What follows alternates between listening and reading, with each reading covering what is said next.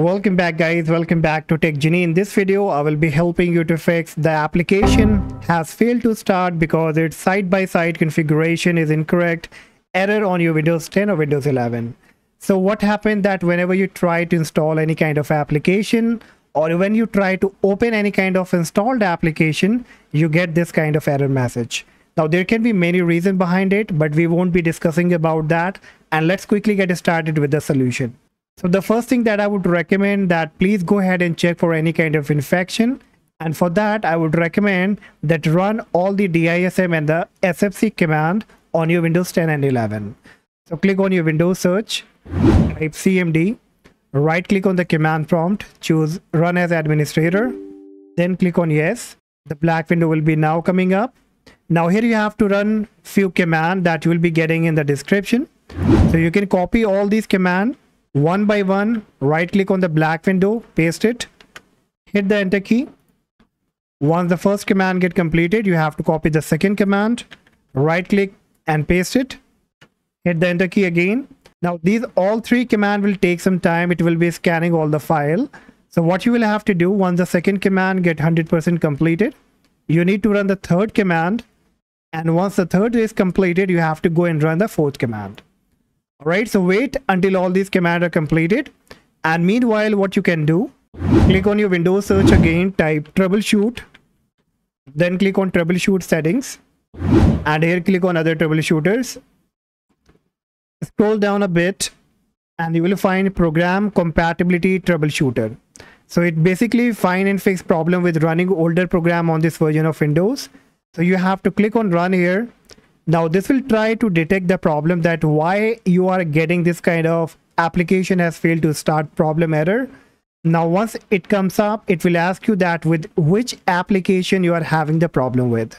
So whichever problem you're having the trouble, you need to click on it. Then you have to click on next. And now this will try to resolve the problem. So if you get the same message, then you have to click on try recommended settings. Then you can click on test the program and the application will now be coming up. So if it comes up, then your issue has been resolved. But in case still if you have the problem, then you have to close everything. Then click on your Windows search, type appwiz.cpl,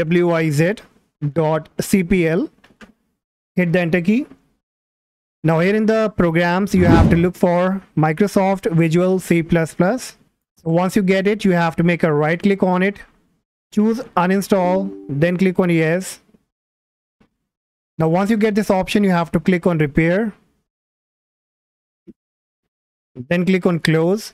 Do the same with the other Microsoft Visual C++ program. Right click, choose uninstall, then click on yes. Then click on repair and once it's been done, then you have to finally restart your computer. Once the computer gets restarted, again check back if the problem has been fixed or not. But still, if you have the problem, then again you have to open the program. So type appwiz.cpl, hit the enter key.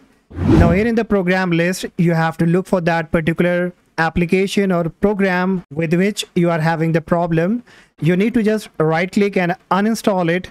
Once it get uninstalled you need to reinstall it again from the manufacturer website and this time you have to make sure that you download and install the right version of the software. So keep in mind that most of the application comes in 32-bit and the 64-bit version. So what you can do you can check your version by clicking on the windows search type system then click on system information. Now here in the system type, you can see that it's x64 based PC. So if I download any application that is based on 32-bit, then surely I would be having some problem. All right, so this time when you reinstall the application, so make sure that you download the right system type, right version of application. And then you can again check if the problem has been fixed. And now still, if none of the method work for you, then finally you can try restoring your computer to a, a, previous date when the computer was working fine. So let's say my computer was working fine about 10 days back. So I will try to restore my computer to any date that is nearby to 10 days. So for that, you can click on your Windows search again, type rstrui.exe,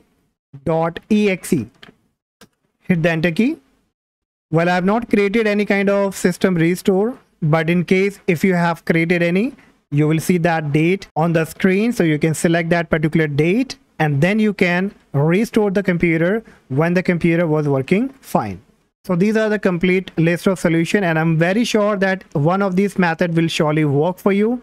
And if this worked for you do not forget to like and subscribe. And in case still if you have the problem then let me know in the comment section. And i see you in the next video. Bye bye